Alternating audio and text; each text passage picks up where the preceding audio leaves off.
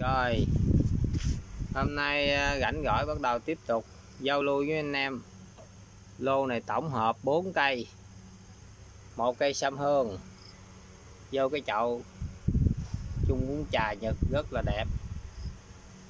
Một cái cây linh sam sông hinh, ghế quái, cũng vô một cái chung uống trà của nhật luôn. Một cây mai chiếu thủy, cũng vô cái chung của nhật luôn và cuối cùng là một cây hồng ngọc mai. Đang ra qua cũng quấn rễ quái luôn. Rồi. Bốn cây.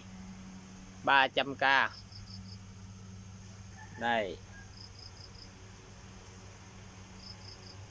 Mày chỉ thị đây. Cái hồng ngọc mai đây.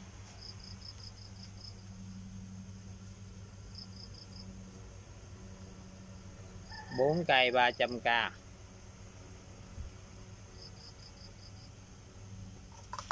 rồi. Cái này là mình lòng chậu nha, anh em đem về cắt cái rễ là đem lên chơi luôn nha. Đó. Đây là cái linh sam cũng vậy. Về cắt rễ là đem lên là chơi luôn được liền rồi. Rồi.